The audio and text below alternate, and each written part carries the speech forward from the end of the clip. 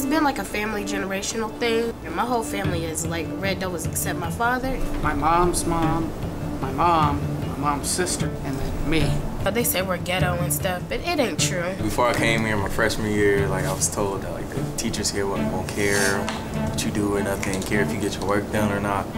But it's not like that. They push you, make you on the stride to get all your work done. Well, I like it here. I feel at home. Marion Franklin's name comes up regularly about us being closed, but because we're doing so our enrollment's up, kids on a waiting list to come in, we're not on the cut list anymore of being closed down. So we want to kind of start brainstorming what movie you guys want to make.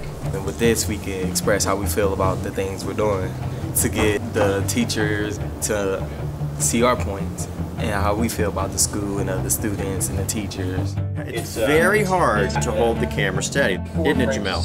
That's the same. And the key is to follow the story. Okay, what I'm doing is holding the microphone, making sure that it stays out of all of the shots. Working as a team, learn how to work together. Filmmaking inherently teaches you that.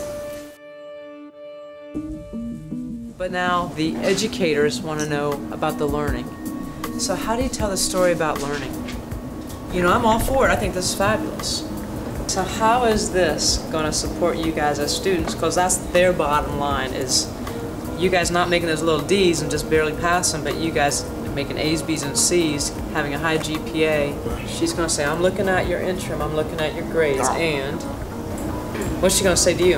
About your attendance, about your cutting classes, what's she going to say to you? If you guys are going to run with this, you got to be committed to it.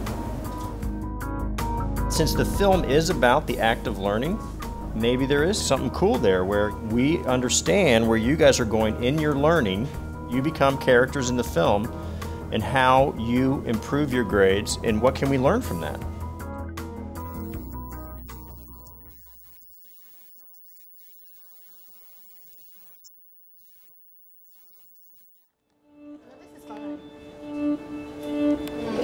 Family generational thing. My whole family is like red devils except my father. My mom's mom, my mom, my mom's sister, and then me.